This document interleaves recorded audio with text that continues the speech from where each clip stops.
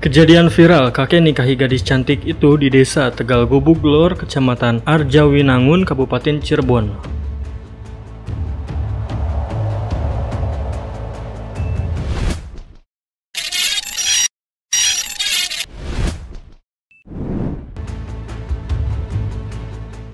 Viral, kakek nikahi gadis cantik itu setelah diunggah di media sosial lewat akun Facebook Happy Wedding Planner.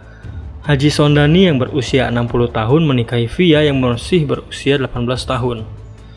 Kakek nikahi gadis cantik tersebut membuat viral bukan hanya keberaniannya saja, tapi maharnya itu yang bikin geleng-geleng kepala.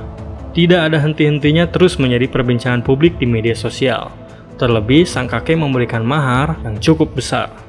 Mas kawin yang diberikan membuat netizen geleng-geleng kepala. Pasalnya, Haji Sondani memberikan mas kawin uang tunai senilai 500 juta.